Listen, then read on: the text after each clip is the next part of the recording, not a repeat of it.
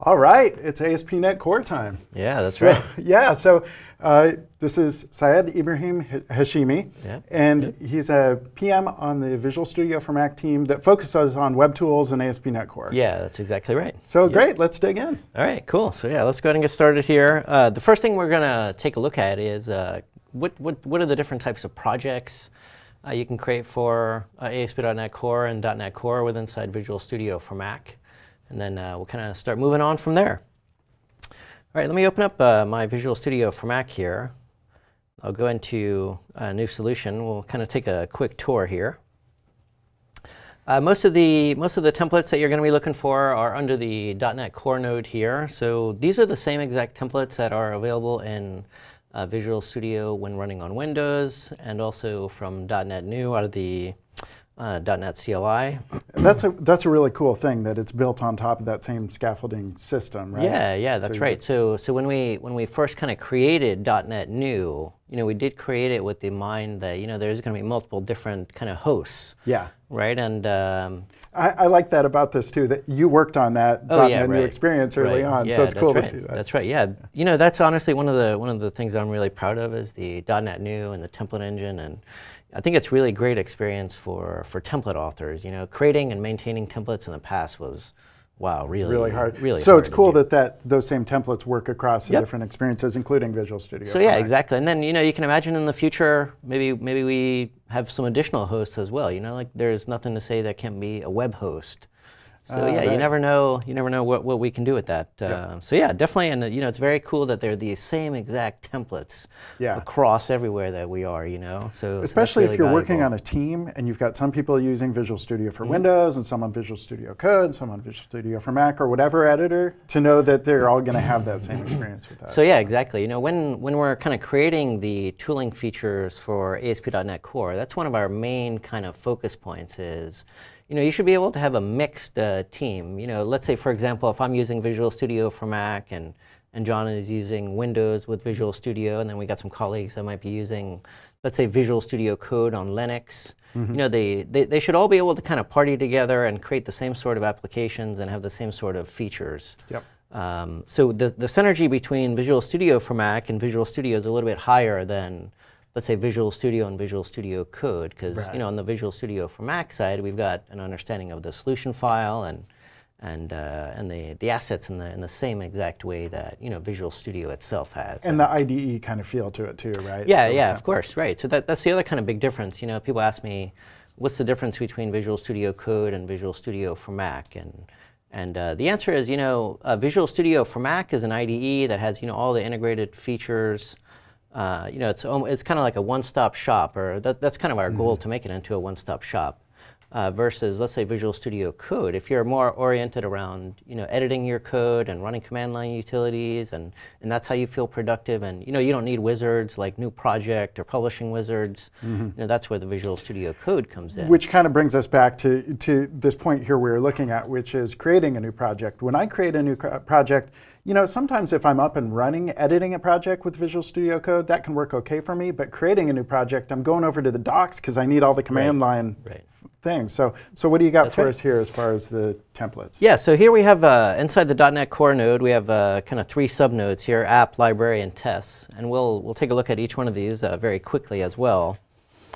So here we can see we've got uh, console and worker service, but we're going to be focusing more on the ASP.NET Core section here. Uh, let me go into a Blazor server application and, and uh, let me also say some of the things that I'm going to be showing in this talk will be in our 8.5 release that, that theoretically should go out tomorrow. Um, so, so if you try something with 8.4 today that, uh, that you don't see available in your build, uh, hold on until tomorrow, install the update, and then, and then those features should light up as well. So Great. yeah, some, some of the stuff I will show uh, is in that 8.5 release. All right, so let me create a uh, Blazor server application here. So after I, after I go into it, we can see we've got a choice for authentication here.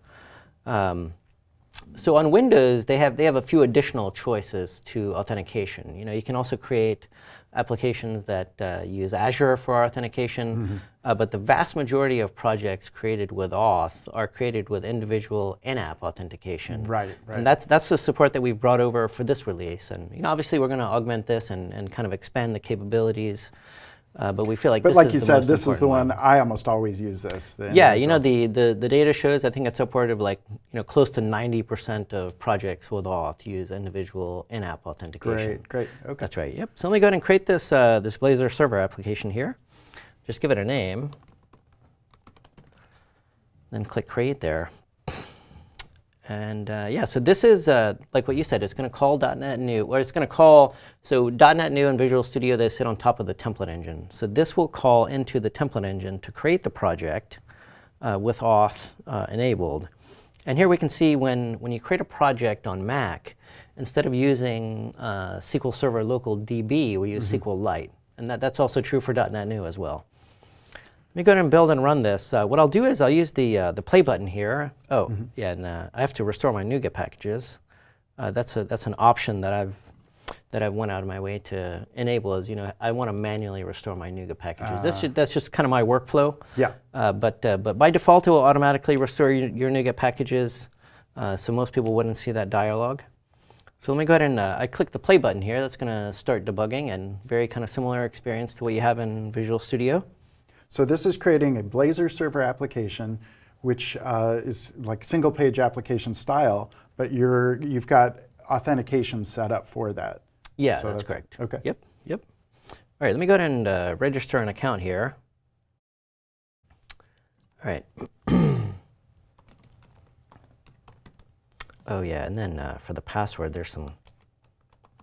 Oh, wait, yours. No, I know, I uh, know. I Oh, know. okay. There's some there's some very particular password requirements here. So you always want to have a nice strong password. Ah, I just learned a one hack one you. uppercase, one lowercase, Yep. one special character, one digit, I believe I it is. know, yeah. Uh, so One always like that. Unicode character. Mhm. Yeah, one your firstborn child. Yeah.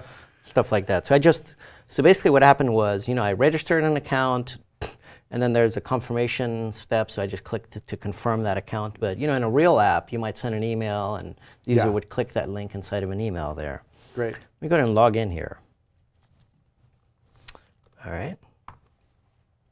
So let's go ahead and log in. So now basically what happened was when we created the project, it was created with the individual in-app authentication enabled. Right. And then that also came with a SQLite database that was pre-warmed up for the migrations and, and schema. And then we registered a new user, and then we logged in with basically almost kind of zero effort here. Right. Basically, yeah. So that's that's the idea there. Let me let me let's go ahead and close out of this. Let's uh, let's continue our kind of exploration of the uh, of the new project. There were some things that I that I forgot to talk about there. Uh, so we already talked about the ASP.NET Core node here. We've got the same templates that you'll find in Visual Studio. Uh, under Library Project, that's where you'll create your .NET Standard uh, class library. Yep. For unit tests, and, and we'll take a look at unit tests hopefully if we have time in a little bit uh, towards the end. Uh, but we support you know these three different uh, flavors of unit tests. Uh, yep, and then uh, the the last the the only kind of node outside of .NET Core that uh, that most of our uh, viewers are going to be interested in for, for .NET Core is uh, under the Cloud node for Azure Functions. Uh, yeah. So if you're developing Azure Functions, you'll go into the Cloud node there. And we've got a session coming up just just for that. Yep. Jeff Hollan's going to be showing. That's that. right. That's right. So that's that's what we got going on there. Uh, we already talked about those things. Why don't we switch over to uh, to another feature uh, that's coming out in 8.5? Actually, it was released in 8.4, but uh, but I think users, I think the viewers should wait for 8.5 uh, to try these out, and that's with scaffolding. So let me go ahead and close out of that instance. Uh, let me go back to. Okay, here it is. Right. Okay, but so what I want to do, I want uh, I want everybody to know that uh, that we have a really kind of great doc that's available on um, in our in our Microsoft Docs here, and there's a link to this at the end. Yeah, what's cool with this too, by the way, I think a lot of people don't know, these are the straight up ASP.NET Core docs, and then if you scroll down, or I guess go to another one of them in here, Mm-hmm. Yep. Mm-hmm. we have these different tabs. So you'll see there Visual Studio for Mac, and when you switch that, it switches it for all of them. Yeah, that's so right. we we worked together on these over the over December January timeframe, We updating did, these, yeah, right? right, that's right. So, it, but but it is cool as these new features come out. We Mm-hmm. were going through and updating for things like scaffolding support. Yeah, you know, it, it is uh, it is pretty cool, and uh, and the, the whole goal with these tabs is, you know, we should have the same exact content, whether Mm-hmm. it's Visual Studio or Visual Studio for Mac, but the screenshots Yeah. would be different, right? That's that's kind of the goal. We're we're not 100% there yet, but you know we're, we're making progress every day basically. As we were updating these two, we did Mm-hmm. find some cases where it's like, wait a minute, this is slightly different. I have to drop to command line, and then we filed bugs, and it was I I love Yeah, that working right. with you on this Yeah, and right. watching it get updated and get. I think that's in 8.5. The, the- Eight five, yeah, that's right, yeah. that's right. Yeah, so for for scaffolding, it was actually released in eight point four. For Razor pages, but not for MVC. Yeah, that's right. Right. And and, you, and uh, to to be honest with you, we did find some some kind of issues with scaffolding in eight point four. Fortunately, 8.5, like you said, yeah, expected that's right. this week. That's so. right. And in 8.5, you're going to get a much kind of better scaffolding experience out of Visual Studio for Mac. So I think, you know, let's just wait another 24 hours, hopefully, and then uh, and then take that one.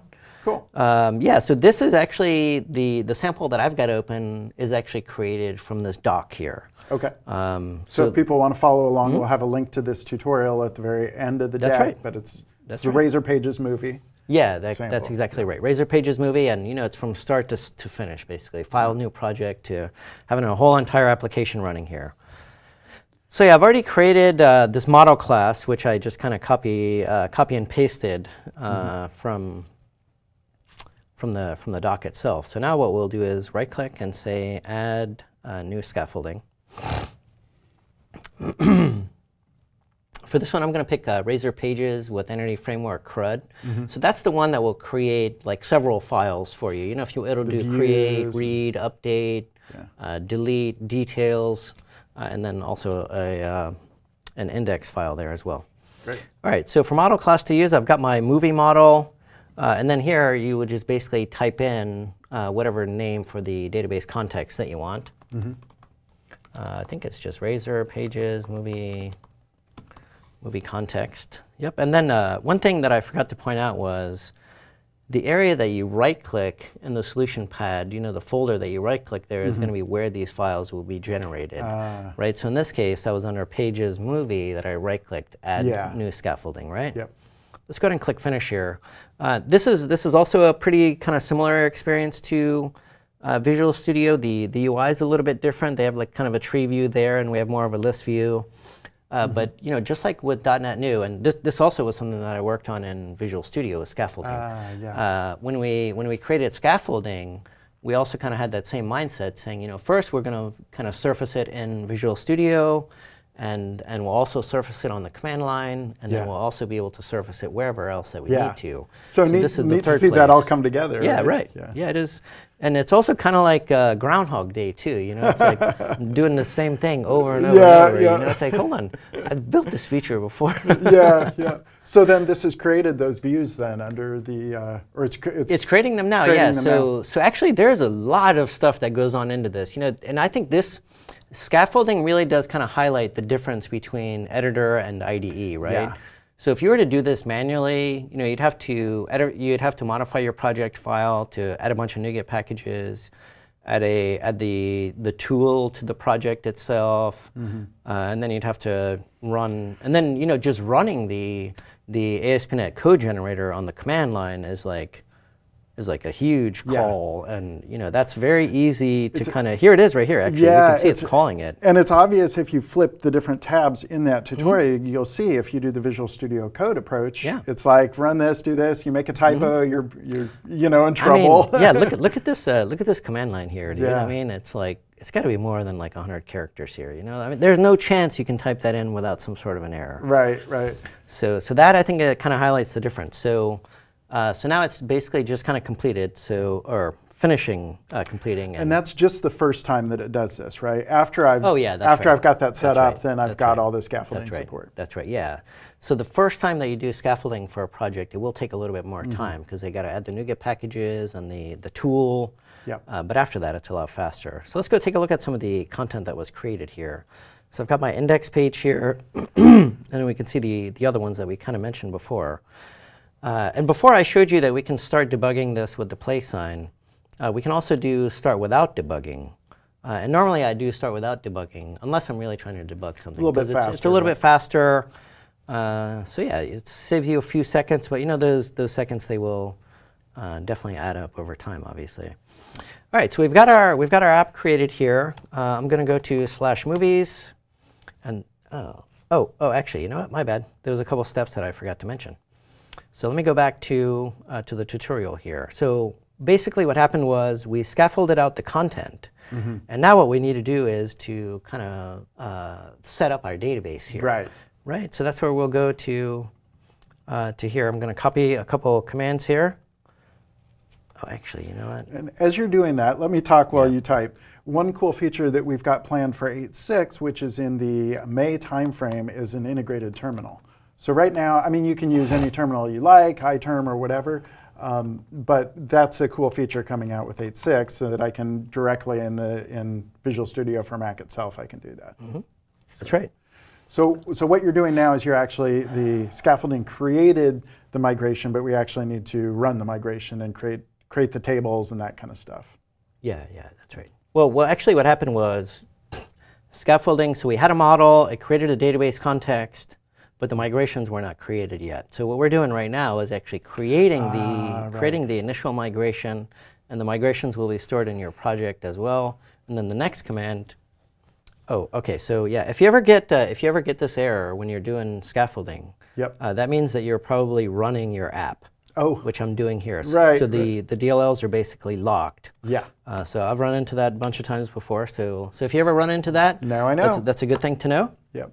Um, so yeah, so now it's going to go through and uh, it's going to create the initial migration and then build it and everything. Uh, now what we're going to do is go and actually update the database itself. In this case, it will actually create the database. So the first was setting up the migrations, this is actually running the running the migrations, which will create the database tables or create the database right, and the tables. Right. The first step was you know creating the migration. yeah. And that's like some .cs file. Yeah. And then this one is actually running the migration. So that's what we've done. Uh, if I go back to if I go back to my project here, I can see now I have a .db file. That's the SQL SQLite file there. Yep. Let's do start without uh, debugging one more time, and then uh, and then hopefully we'll be able to go and create like one or two movies, Sounds good. and then go from there. Yeah, right. All right, there we go. So let's say create new, and I'll say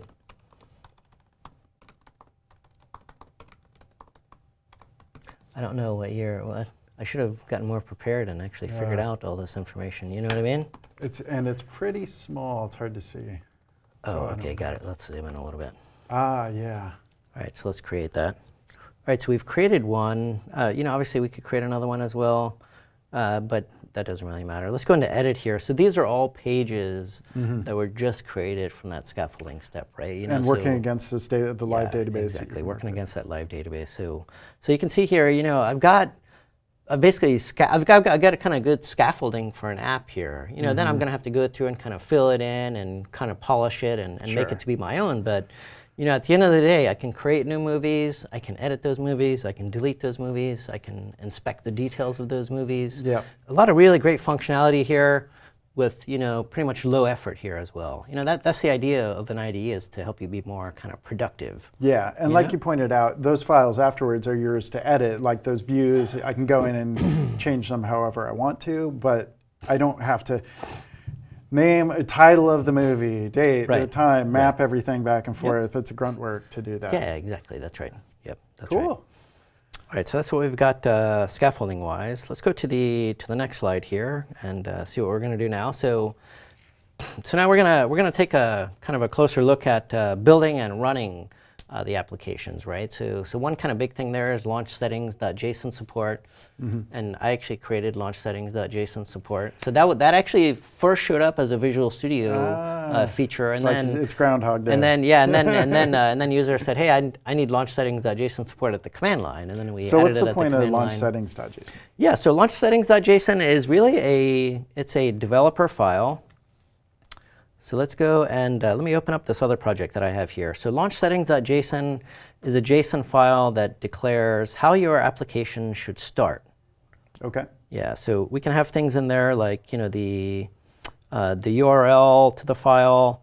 Uh, oh, I got too many files open here. I think. Just one second. There we go. Okay, yeah. Nice. Uh, so so we can see with launch settings.json, you can have like multiple kind of profiles is what what they're called, but. Uh, it basically will declare how your application will start for development. Launch Okay. settings.json is only used in developer scenarios. It's not used in any any production scenario, and it's not even published that file. Got it. So some things that we can see here are the uh, the environment variables, including ASP.NET Core environment. So, you know, this is the one where when right. you're doing development, you want that environment variable to be set to development, but when you're in production, you want it to be to production or something besides development. That's a really important feature of ASP.NET Core. A lot of developers I talk to don't really understand that enough, how, how important environment variables are. Because you can set them, like you're saying here in launch settings, and then when I deploy it, like say to you know, a web server, uh, Nginx, or you know, maybe uh, to Azure, I can go into Azure and set those app settings there. You know what I mean? And override yeah, that's right. those. That's So, right. That's cool. right. Yep. So yeah, and then uh, and then also the the application URL. So now let me show you how we would uh, how we could uh, modify this one, right? So on the web app here, I will choose uh, options. Oh, obviously, you could edit that file directly if you wanted to. Yeah. Um, so that, that's that's kind of one choice. Uh, if I were to go in here, uh, and then let's say let's say I'm going to add a new kind of environment variable here. So I'll say demo demo value. Oh, uh, I escaped it. And then let's uh, let's click OK on that one. Did it? Did I? Oh, you know, I think I got the wrong uh, Oh, long, wrong one. Wrong one open here. Yeah, I, th- I think I had the wrong one open here. But uh, but an- anyways. Uh, So as opposed to like messing with JSON schema, I can go in and edit it in there, and it'll it'll update it for me. Yeah, and then the, the kind of the great thing is, you know, the your Visual Studio counterpart or your Visual Studio Code counterpart would get those kind of same uh, settings and, and run behavior as well. Right, Yeah, right. That's Okay. right. Yep. Cool. So that's the that's the launch settings.json support, and uh, and so now here I've opened up a, a different uh, solution that I've been that I've been developing for a while here. It's a it's an app that shows templates that are available for .NET New. Oh, nice.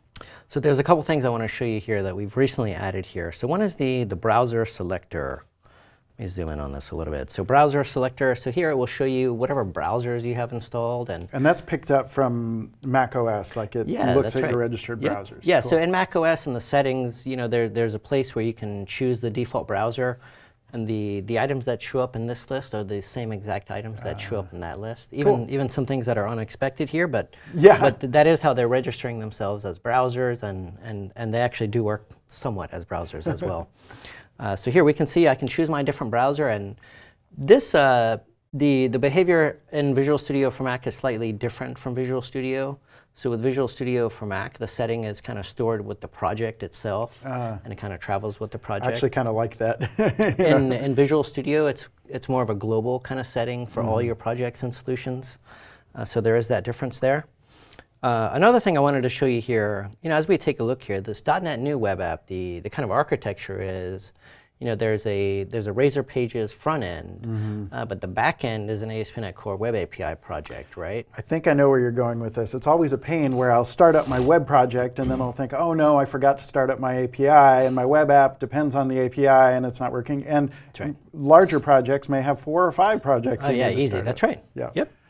All so right. now, so what I want to do is I want to launch my API project and my web project at the same time whenever I start with Mm-hmm. or without debugging.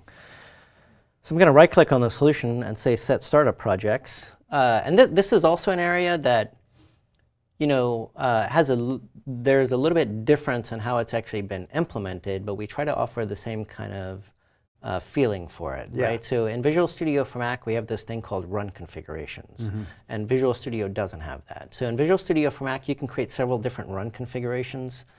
So let's say let's say if you had a huge solution with 20 projects, and if you're testing one microservice, you want to start up these three projects, and if you're testing a different microservice, you want to start Ah, up these right. other four projects. Right. You could achieve that with run configurations, and then you can easily switch back and Toggle forth. between those different That's run right. configurations. Nice. But, but for the basic case, you're going to use it just like you do in Visual Studio. Uh, there's just this additional click to create the run configuration. Um, so here I, I can select the, the different types of, uh, the different projects that I want to start. So I'll pick the API and the web project, and then we'll uh, click OK for that. And we can see this value has just changed, right? Before, I think it was set to templates API, right? Yeah. That, that's the one that, this is the selector where you pick what you want to run, right? so if you wanted to change back to just the API or something, you could do that. Yeah, exactly. That's right. Yep. Yep. Yep. Yep. So we'll, we'll keep it on uh, multi multiple projects here, and then uh, we'll do start without debugging. The keyboard shortcut is uh, Option Command Return, and uh, so yeah, we'll see. This is going to go ahead and fire up uh, the Uh, so we can see here it kind of fired up our API project here, as well as our uh, as well as our web application here. But let me go back, and uh, what I want to do is actually uh, start with debugging here. So let me do uh, command return on that one. While you're doing that, I just want to point out those keyboard shortcuts are really cool, and you've been working to get together some of the top keyboard shortcuts. And one of the giveaways we have during the code party at the end of the day is we actually have coffee mugs with some of the top keyboard shortcuts. Right, right, So- right. And we have uh, so we've created you know PDF files. That's right, so yeah, we yeah. have two different versions. We got the Visual Studio for Mac shortcuts by themselves, and then we also have a uh, we have another PDF that compares Visual Studio and Visual Studio. So if you're Mac used to. Visual Studio for Windows, then you can go over to Visual Studio for Mac and line up which the shortcuts are. Yeah, that's right. And we'll be That's right. sharing those out during, I think, Mikayla and Kendra's session on productivity at the end of the day. They're going to be sharing that. Mhm. So Yeah, cool. that's right. Yeah, so they're gonna have they're gonna have a link to it, and uh, if I recall correctly, the link is aka.ms slash vsm dash keyboard dash shortcuts. But but they'll have the links there. Uh, they'll definitely have the links there, and uh, I'm working on updating the the doc as well to have those links. Cool. So what I've done is, uh, so here I've I've uh, I've started debugging here, and uh, and I hit a breakpoint. So I want to just show you know kind of a couple debugging uh, features that we have here. So obviously breakpoints is, is one of them, and we can see now we're we've stopped on a breakpoint. Yep. Now I can go into uh, inspecting uh, the variables. Uh, we can also do things like step over. So let me go ahead and step over here. Uh, Now, did you do run without debugging?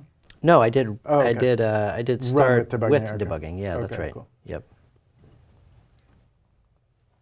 Very cool. Let me do. Uh, let's turn this breakpoint off. Let me show show a new feature that we have.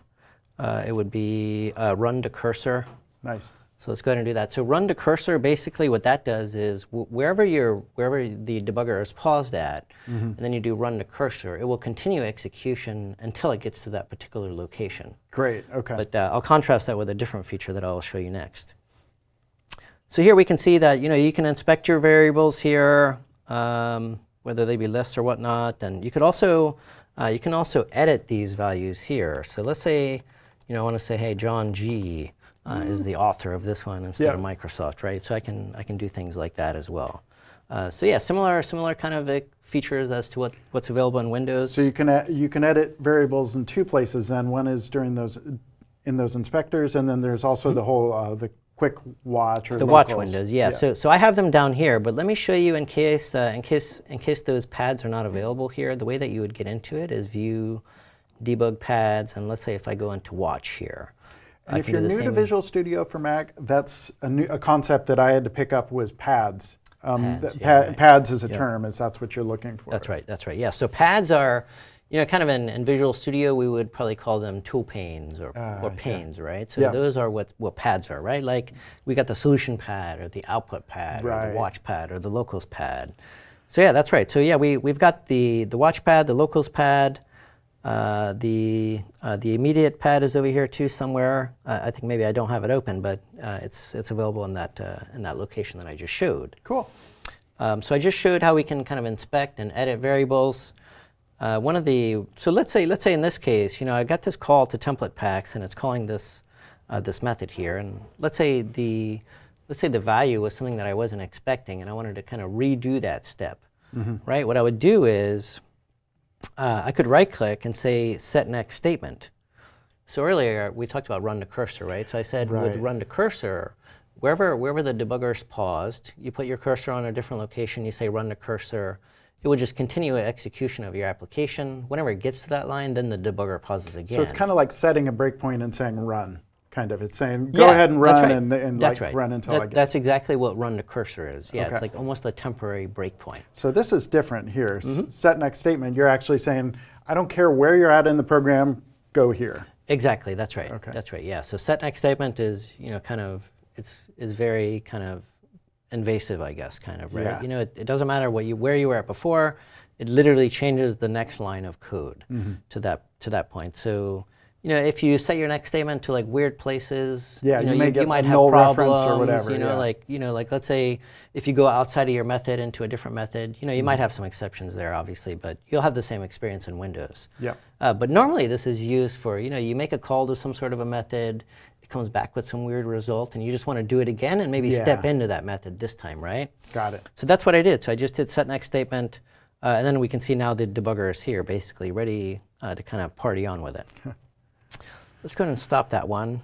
Um, so another another feature that we've added recently is the ability to kind of manage NuGet packages at the solution level. Uh, I think this was either 8.3 or 8.4. Uh, so I just right-clicked the solution and said Manage NuGet packages. If I go to the Update tab here, we can see that uh, there's a few uh, packages here that, uh, that I could update. Yep. Right? So let's, let's say, for example, if I wanted to update my Newtonsoft.json, I could select that package and then, and then pick Update Packages, and then I'll be prompted, you know, for what projects do you want to update these packages for? So and since it's at a solution level, y- it'll, it'll look across all those projects. Yeah, that are using that particular package, right? Got it. That's right. Um, I'm not going to do that here, uh, but we definitely could do that. All right. Okay, so let me go into, uh, let's take a look at uh, some of the some of the kind of editor features that we have, right? And Yeah. And we've recently ported over the same exact editors from Visual Studio into Visual Studio for Mac. So the editing experience should be pretty familiar. Uh, one of the things that I wanted to kind of highlight here is the multi-caret editing. So here I've got uh, I've got a list here, and let's say I want to add one class to each list item here. So I've put my cursor where I want the first one. So what I'll do is uh, Control Option click to create another uh, caret and another one. And let's say I just want to add a new class uh, for highlights. That's kind of multi-caret uh, multi-caret editing, and Yeah. that works in a variety of different files in Visual Studio for Mac as well. Nice.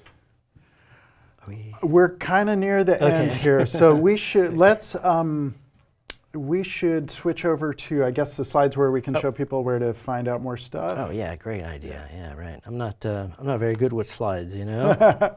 So- so I forced. He's like, I just got all demos. I'm like, let me throw some slides at you, throw you off. Yeah. So so Yeah, right. obviously, like basically every um, every side deck we're ending up with, like, download the newest Visual Studio for Mac, and like you said, Right. 8.5 expected out this week has some cool cool yeah, updates. Yeah, definitely, definitely a lot of cool updates for sure. Yep. Yeah, right. And then Yeah. that, that Razor Pages tutorial, the Razor Pages movie, that was one that we both updated. You did all the work. I did a few things, and that, that was uh, that one also we've got linked here, and that's the one that showed Mm-hmm. Yep. scaffolding. That's right. That's right. That's a really cool tutorial, and there's also kind of an MVC counterpart uh, for that as well. Yeah. Awesome. Yep. So I think now we're ready to take some questions. Oh, okay, great, awesome. Great stuff. Um, so much goodness for ASP.NET uh, Core developers on VS for Mac. All the additions that we've added through the last few months make the, the productivity so much uh, better. So we have a couple of questions, but uh, first I wanted to uh, give a shout out to Anze here because as we were um, having the previous session, Anze is part of the product team, but what's exciting is that he was actually watching the show. He's like, I feel so inspired now. I need to go back and use the product more. So he's a Visual Studio for Mac uh, PM, and he loves the product so much. He felt inspired from our session. So it's great, inspiring our own people. Um, we have a question for you, uh, um, um, Sayed and uh, John. Uh, when should I use gRPC over traditional APIs? Like people want to know about which one is better now. Yeah, right. Uh, sure. Okay. Yeah. So, so, so I think that would have been a really great question for our previous presenter, Brady Gaster. I, I think he could have given a better answer to that. But, uh, but let me let me let me try and answer it. Um, so I think I think uh, gRPC services are more preferred when you're communicating within your own applications, right? Like let's say if you, you have an application that consists of several microservices and you want a high performant experience, you know, of the communicating between these these different uh, these different applications. That's one area that you would use gRPC. Right. Uh, but you know, I think if you were to contrast it, like let's say if you want to just create like a, an API that anybody could access, right? I, I don't think gRPC is the is the right approach for that, but I'm, I'm yeah, totally G- sure. gRPC is a binary format, very high performance, but like you said, it's a little harder to share, and you're Right. requiring also support. Not every browser supports gRPC. Not every Yeah. client can support that. It requires HTTP2 Oh, and yeah, all that's that. right, that's right. So yeah, I, I agree with you. I think for internal services, you want that really high performance, and you have control over client and the service. Yeah, gRPC. But for something you're sharing, I agree Right, with you. The that's right, H- that's right. REST APIs Yeah, are smooth right. there. Yeah, that's right. Cool. Great stuff. Um, so gRPC, it's fairly new as well, and um, we saw before that it's very well supported inside uh, VS for Mac, and there'll be more uh, support coming soon. Um, now, the next one is going to be about uh, deploying ASP.NET Core to Docker, and um, I think the question here is how well is Docker supported with uh, Visual Studio for Mac? Oh, sure, right, yeah, yeah, right. Okay, great. So yeah, um, so if I if I have a um, if I have an application here uh, what I can do is I can right click on my project and say add uh, Docker support here. Uh, and this will, this will then uh, create a new project called you know, Docker Compose, and that will be set to the, to the startup project. And uh, it, it's kind of similar to, to the features in, uh, in Visual Studio. they, they, they do, do have some additional features on the, on the Windows side, but that, that's an area that we're looking for kind of feedback and Mm-hmm. Uh, we're trying to figure out, you know, what missing features should we kind of implement first. But like the main things you were saying that it does for you is set up the Docker file and yeah. set up the project support for it. Yeah, that's right. And it and it does it in a way that would work with Visual Studio users as well. Ah, cool. Yeah, that's right. Yep. Right. yep. Great question. Yeah. So there you have it. We have ASP.NET Core, high performance gRPC, REST APIs, Docker support, microservices, all supported on inside uh, Visual Studio for Mac. Now, before we uh, jump into our next uh, session with uh, Jeff to talk about serverless awesomeness on, on a Mac with .NET Core, we're going to take a quick break. So stay tuned, and we'll see you in a bit.